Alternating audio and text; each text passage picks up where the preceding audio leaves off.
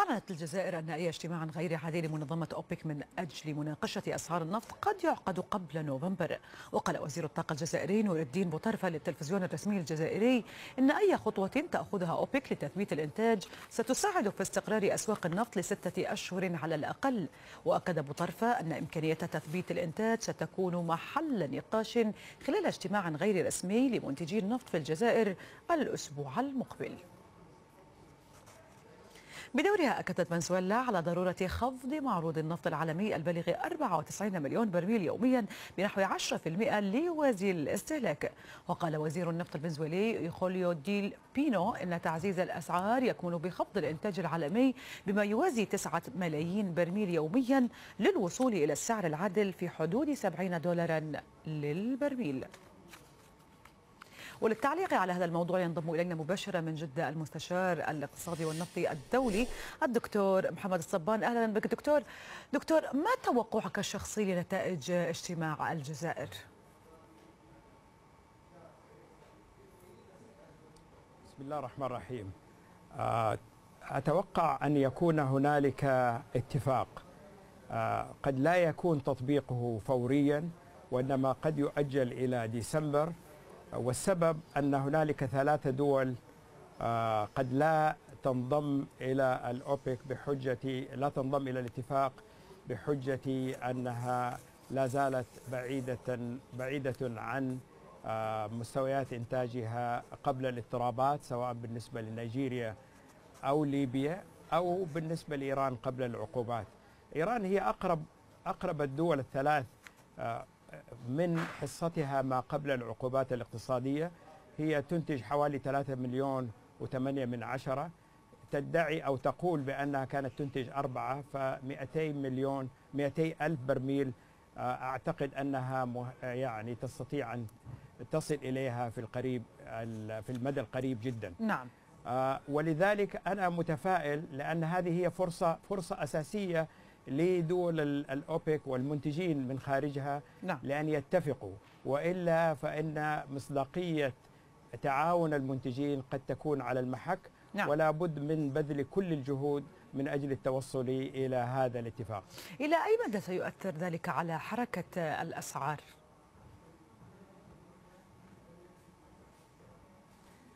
حركة الأسعار تستجيب طبعا هذه الأيام هنالك حركات وتقلبات كبيرة في الأسواق وهذه لا تعكس بالضرورة اساسيات السوق. لكن إذا ما اتخذت الأوبك خطوة بتجميد الإنتاج لأنه ما يحدث الآن أن السوق مليء بالفائض النفطي. وإذا ما تركنا الفرصة لايران وليبيا ونيجيريا والنفط الصخري الذي عكس ما كان يقوله البعض قد عاد إلى الأسواق وبدأ يعود فإن الأسعار ستهبط عن مستوياتها الحالية. ولذلك هي فرصة ذهبية للمنتجين خاصة في ظل الاتفاق الروسي السعودي. نعم. أنا أتصور أن الاتفاق السعودي الروسي هو الذي حرك المياه الراكدة ودفع الجميع. ولا أنسى هنا دور محمد باركندو أمين عام منظمة الأوبك والذي فعلا قد غير من مفهوم التعاون في إطار الأوبك باتصالاته المكوكية نعم. بتصريحاته الموزونة وحبذا لو وزراء الأوبك يتركوا له أن يصرح ولا أن يصرحوا هم. نعم دكتور لكن بخصوص تقارب روسيا وبعض أعضاء أوبك هناك بعض الآراء منها أنها تفعل ذلك لمعرفة خبايا ما يدور في أروقة اجتماعاتها دون رغبة حقيقية في التعاون، ما رأيك في هذا؟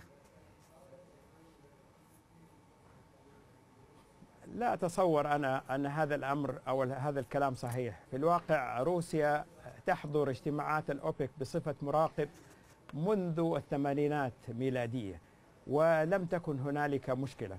المشكلة لم تكن في روسيا. هنالك حينما كنا نذهب لاجتماعات الأوبك نكتشف أن بعض الفنادق قد تم ربطها بأجهزة استخباراتية وكانوا يعرفون كل ما يدور في سواء في الفنادق أو في اجتماعات الأوبك. فليست روسيا ليست حريصة على تجميع هذه المعلومات. روسيا تنطلق من منطلق مصالحها الاقتصادية وهي الآن بالإضافة للعقوبات الدولية تعاني من انخفاض أسعار النفط.